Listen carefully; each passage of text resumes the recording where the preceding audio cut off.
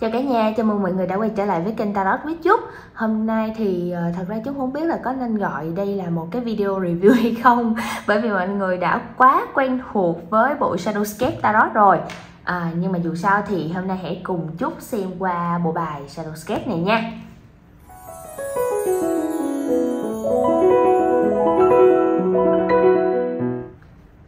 Và đây là Shadowscape Tarot của chúng ta. À, Bộ bài này được vẽ bởi họa sĩ Stephanie Pulmonlo nhưng mà ở những cái tác phẩm về sau của họa sĩ này giống như là bộ ờ, Tree Keeper Oracle thì cái tên này nó chỉ còn lại là Stephanie Lo cho ngắn gọn thôi.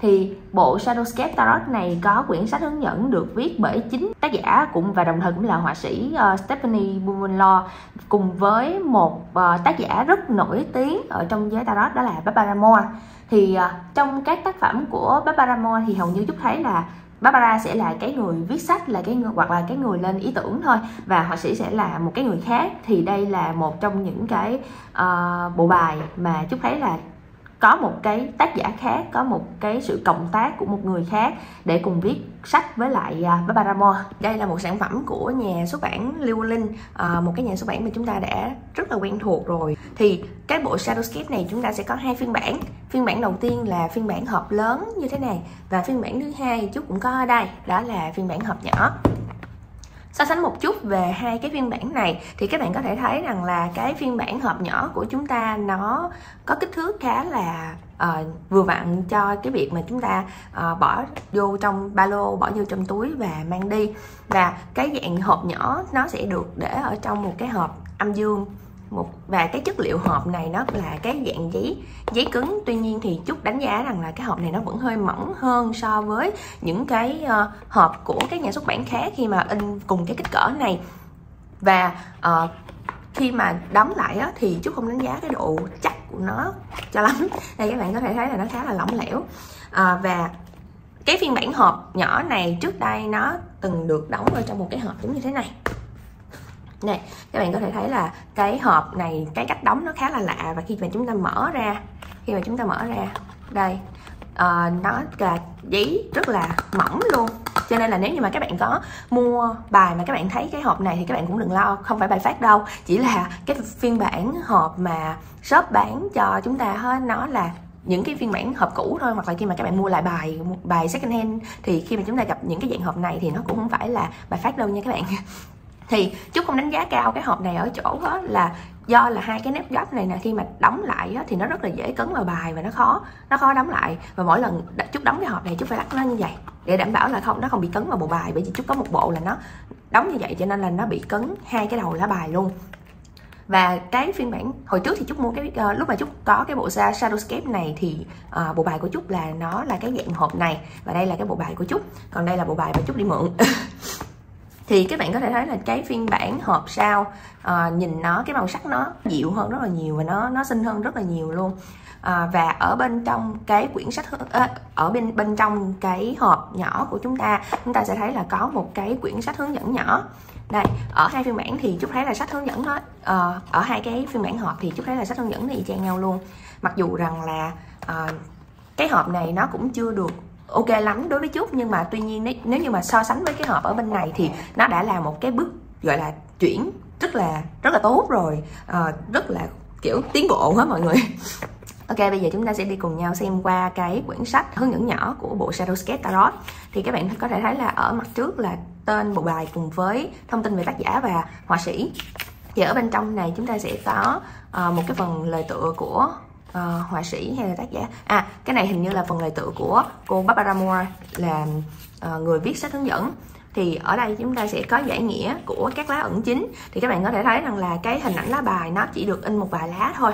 Và nó in rải rác uh, nó giống như là để ừ, làm màu cho mấy cái đoạn mà không có không có nội dung gì đó còn uh, ở đây mỗi một cái lá bài của chúng ta nó chỉ là những cái từ khóa rất là ngắn gọn. Nó vừa là từ khóa mà nó vừa là mô tả rất là ngắn gọn luôn. À, và những cái lá ẩn chính thì nó cũng ngắn như vậy. Và tương tự những cái lá ẩn phụ nó cũng ngắn tương đương. Nhưng mà thay vì ở đây là một trang hai hai lá thì ở đây một trang ba lá thì ờ, nó cũng ngắn hơn. Thì cái quyển sách hướng dẫn nhỏ này ở phần cuối chúng ta sẽ có một cái uh, những cái trải bài mà có thể sử dụng cho cái bộ uh, Shadowscape này. Chúng ta sẽ có những cái trải bài giống như là trải bài một lá uh, thông điệp từ vũ trụ và cái trải bài về giấc mơ. Và đó là cái quyển sách hướng dẫn nhỏ của chúng ta. Ờ, à, chúc sẽ tạm thời đặt nó lại vô đây. Và đối với cái bản hộp cứng à, đối với cái bản hộp lớn thì à, các bạn có thể thấy là nó được đặt ở trong một cái chiếc hộp cứng như thế này. À, và cái chất liệu giấy của nó khá là cứng cáp nó dày hơn rất là nhiều so với cái cái hộp của bản hộp nhỏ. Cho nên là các bạn có thể thấy là nó đấy là nếu như mà các bạn cầm trên tay các bạn sẽ thấy nó khá là nặng tay và nó được in ở trên cái chất giấy ờ, uh, decan bóng như thế này. Còn ở trên cái hộp shadowscape uh, ờ, nhỏ thì nó sẽ được in cái dạng giấy vân. Còn cái dạng này thì nó cũng là giấy uh, để canh bóng. Và ở đây chút sẽ khi mà chúng ta mở hộp thì các bạn có thể thấy đây là cái dạng hộp 500 nắp gập và ở bên trong chúng ta sẽ có một cái quyển sách Shadowscape lớn. Thì ở cái quyển sách Shadowscape lớn này, các bạn có thể thấy là bìa nó được in màu rất là rất là xinh. Nhưng mà khi các bạn lật vào trong thì nó lại là in trắng đen. Thì à, đây là một cái chuyện, điều khá là lạ đối với những cái quyển sách hướng dẫn của Lưu Linh. Thì các bạn, khi mà các bạn mua các sản phẩm khác của Lưu Linh, các bạn thấy là đa số là sách hướng dẫn sẽ được in màu. Nhưng mà cái bộ Shadowscape này do nó là một trong những cái bộ bài, gọi là thời kỳ đầu của Lưu cho nên là à, lúc đó là mọi người giống như là in trắng đen để tiết kiệm chi phí hay sao thì đến bây giờ thì cái quyển này nó vẫn được giữ cái việc in trắng đen đó giống như là để cho công bằng giữa những người mua trước và những người mua sau. Thì ở trong cái quyển sách này chúng ta sẽ có phần giới thiệu về um, họa sĩ họa sĩ kim tác giả và uh, tác giả Barbara Moore. Và ở đây đi vào trong chúng ta sẽ có một phần lời tựa của họa sĩ Stephanie Pumullo phần giới thiệu được viết bởi cô Barbara Moore um, phần giải giải nghĩa ê, mô tả các lá ẩn chính các lá ẩn phụ đi theo từng nguyên tố uh, và cái những cái trải bài cho dành cho dành riêng cho bộ bài này. Thì ở đây uh, chúng ta ở trong cái phần mà um, luôn đấy là những cái phần là lời của họa sĩ. Thì ở đây chủ yếu là cô um, Stephanie mô tả về cái kênh xé và cái quá trình làm việc của cô với cái bộ Shadowscape này. Và ở đây ở trong cái phần giới thiệu của tác giả thì chủ yếu là uh, cái phong cách của cô Barbara Moore là làm sao để cho hướng dẫn những cái bạn newbie tiếp xúc với lại cái bộ bài này. Cho nên là các bạn sẽ thấy rằng là đây là những, những cái gọi là cô bác Paramo viết về những cái tương tác ban đầu đối với cái bộ ờ, Shadowscape này. À, và cái cách kiến tạo cái trường nghĩa cho những cái lá bài và cách mà phối hợp cái nghĩa của tác giả Stephanie vào trong cái uh, lá bài Shadowscape này và một số những cái câu hỏi thường gặp đối với cái việc đọc bài và uh, cái nghĩa xuôi nghĩa ngược ở trong cái bộ bài này và một số những cái bước cơ bản cho một cái buổi trải bài các bạn có thể thấy là nó khá là chi tiết về cái khâu cái mặt kỹ thuật khi mà tương tác với bộ bài. Và đi vào trong uh, ý nghĩa của lá bài thì như các bạn có thể thấy ở đây là lá đều phun thì mỗi một cái lá bài nó uh, ẩn chính thì đều sẽ được in một cái hình to giống như thế này nhưng mà không có mèo tên lá bài ở đây. Và ở đây chúng ta sẽ có một cái phần mô tả ngắn cho cái lá bài đó và bên này là ý nghĩa của lá bài các bạn thấy là một uh, lá bài nó chiếm cái uh, dung lượng khá là lớn về cái mặt nội dung. Thì ờ, uh, chúc đánh giá là cái quyển sách hướng dẫn này viết rất là hay nha mọi người. Đây các bạn có thể thấy là mỗi lá ẩn chính hầu như là đều được viết ở hai trang từ một trang rưỡi tới hai trang hết. Và đối với các lá ẩn phụ thì à, à, ẩn phụ vẫn có hình hình nha mọi người. Thì ở các lá ẩn phụ thì chúng ta có phần chỉ có phần mô tả thôi. Chỉ có phần mô tả các lá bài thôi. Và một cái uh, ý nghĩa rất là ngắn gọn ở bên dưới. Và đây uh, ẩn phụ thì chỉ có một trang thôi.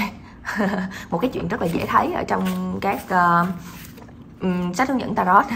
Và ở đây ở trong cái phần uh, giới thiệu về những cái trải bài dành cho cái bộ Shadowscape này. Thì các bạn có thể thấy rằng là cái số lượng trải bài nó sẽ nhiều hơn so với cái phiên bản hộp nhỏ. Và um, cái các bạn có thể tham khảo nhiều hơn ở trong cái quyển sách hướng dẫn này. Và tổng ở trong cái quyển sách hướng dẫn của Shadowscape thì chúng ta có 5, 253 trang. Tính luôn trang này là 254 Ok thì đó là uh, sách hướng dẫn và hộp của bộ Shadowscape Bây giờ chúng ta hãy cùng nhau đi vào lá bài ở bên trong các bạn nhé. Và đây là bộ Shadowscape của chúng ta sau khi lấy ra khỏi hộp. Thì đối với những cái bộ bài của Llewellyn với cái dạng uh, hộp to như thế này Thì chúng thấy hầu như là nó đều được theo một cái quy chuẩn nhất định uh, Và nó đồng nhất về mặt kích thước với lại cái xếp bài luôn. À, chỉ có những cái bộ bài mà nằm ở trong cái hộp nhỏ thì chút thấy nó hơi uh, nó hơi khác hơn so với uh, những cái hộp lớn thôi. Uh, và ở đây trên tay trúc đang là bộ shadowscape ở trong cái phiên bản hộp nhỏ chúng ta sẽ thấy là hầu như những cái lá bài của Lưu Linh đều có kích thước là 7 nhân ờ, à, 7 chiều ngang là 7 chiều dọc là 11,7 và cái độ dày này nó sẽ phụ thuộc vào từng đợt phát hành. Tại do là Lưu Linh họ không có đồng nhất về cái chất lượng chất giấy à, cho nên là cái độ dày này nó cũng sẽ dao động khá là nhiều dựa theo cái đợt giấy in của cái lần phát hành đó.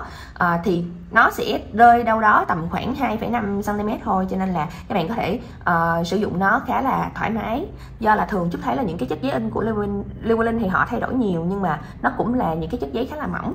Thì ở trên lá bài của chúng ta sẽ có hình ảnh nằm ở chính giữa một cái khung màu xám bao xung quanh và cái tên của lá bài được đánh một cái khắp phong mà chúng thấy là nó cũng khá là bay bổng.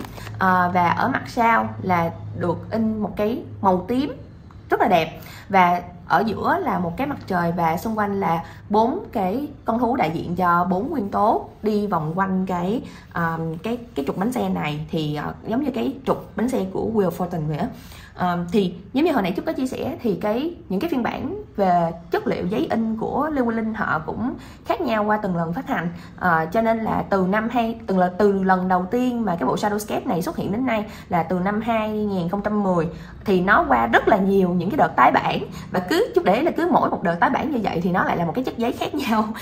Cho nên là đến bây giờ chút mới dám review cái cái cái cái bộ Shadowscape này. Thì chút có mượn được một số những cái phiên bản trước đó của Shadowscape để so sánh cho các bạn xem về mặt chất giấy. Thì trên tay Trúc đang là cái uh, lá bài của cái bộ hộp nhỏ uh, hộp hộp nhỏ nắp âm dương. Thì các bạn có thể thấy rằng là ở trên cái lá bài này họ in cái cái ấy là họ cán mờ. Đây các bạn có thể nghe cái âm thanh của cái lớp giấy này. À, và cái góc bo này chút thấy là nó khá là nhọn hơn cái phiên bản hộp lớn. Và đây là cái lá bài mà chút lấy từ cái phiên bản hộp lớn à, mà ban nãy chút có giới thiệu đến mọi người. Thì mọi người có thể thấy là hai cái góc bo nó rất là khác nhau. Cái góc bo của phiên bản hộp nhỏ thì nó sẽ nhọn hơn và cái góc bo của phiên bản hộp lớn thì nó sẽ tròn hơn. Do là cái phiên bản hộp nhỏ này không phải của chút chứ nếu nếu nó là của chút thì chút đã bo lại cái góc tròn này rồi. Bởi vì chút uh, không có thích cái góc bo giống như vậy. Uh, rồi ở phía uh, mặt lưng thì các bạn có thể thấy rằng là cái màu sắc của hai phiên bản này nó cũng khá là khác nhau. Thì chú không biết là cái phiên bản hộp lớn dạo gần đây là nó ra cái màu như thế nào nữa. Nhưng mà hồi trước á, thì nó đã từng là một cái màu tím liệm tìm sim giống như thế này. Đây các bạn có thể thấy rằng là nó tím hơn rất là nhiều. Và cái mặt trước của nó cái khung này nó cũng là một cái màu xám tím chứ nó không phải là một cái màu xám giống như là hai cái hai cái phiên bản mà chúc đang cầm ở phía bên tay phải đây và ở cái phiên bản mà chúc mua à, không phải là chúc mua mà nó đúng hơn là chúc được tặng. À, cái câu chuyện này thì nó cũng khá là dài đó. Thì cái cái phiên bản của chúc thì các bạn có thể thấy rằng là cái màu xám nó đậm hơn. Thì lúc đó là Lưu Linh thấy là cái màu tím này thì hầu như nó sẽ giới hạn à, những cái người dùng bộ Shadowscape ở cái giới tính nữ. À, các các bạn nam thì sẽ không ưa dùng cái bộ màu tím liệm tìm sim này cho lắm. Cho nên là họ mới đổ thêm cái tông xám vào trong cái lưng này. Và nó nó lại bị một cái vấn đề đó là khi mà đổ thêm cái tổng xám thì trong cái lá bài nó có vẻ nhợt nhạt và nó chỉ lên được cái hiệu ứng màu đẹp nhất khi mà nó nằm ở dưới cái ánh sáng vàng thôi. Cho nên là họ lại tiếp tục trả nó về một cái tông gọi là nó bớt tím hơn nhưng mà ấy là nó bớt xám hơn và nó vẫn giữ được cái màu tím gọi là xinh đẹp của Shadowscape như là các bạn có thể thấy ở hai cái phiên bản này đây. Và uh, chất giấy thì hiện giờ chúng thấy có hai chất giấy vẫn còn được sử dụng cho đến hiện tại. Cái thứ nhất là cái chất giấy cán mờ của uh, cái bộ hộp nhỏ thì ờ, chúc thấy là hình như là hai nhà in khác nhau hay sao á do là cái chất giấy của bản hộp nhỏ chút cầm trên tay thì chút thấy là nó dày dặn hơn so với cái phiên bản uh, cái chất giấy của phiên bản hộp lớn. Thì đây là cái chất giấy của phiên bản hộp lớn thì các bạn sẽ thấy là nó nó được in ở trên cái lớp giấy cán bóng. Và cái chất giấy này khá là dẻo dai và chút đánh giá cao cái cái chất giấy này hơn mặc dù là chất giấy bên này nó dày hơn. Nhưng mà giấy dày hơn không có nghĩa là nó xịn hơn nha các bạn. đôi khi có những cái bộ bài mà mặc dù giấy nó dày hơn nhưng mà uh, nó lại chất lượng nó lại không bằng những cái những cái uh, chất bài mà nó mỏng hơn. Cho nên là các bạn nào ấy là các bạn các bạn mua bài các bạn thấy giấy mỏng thì các bạn khoan hẳn chê tại vì đôi khi cái đó giấy mỏng nó mới là giấy xịn. Thì ở cái uh, có một cái phiên bản giấy mà chúc thấy là chúc rất là thích đó là cái phiên bản giấy cán mờ nhưng mà nó nó gần như là không có cán luôn nó giữ nguyên cái chất liệu giấy luôn á các bạn. Và đây là cái bộ bài của trúc mà trúc đã cắt viền. Đây các bạn có thể thấy là trúc cắt hết viền luôn. Và cái kích thước của nó khá là nhỏ gọn cute.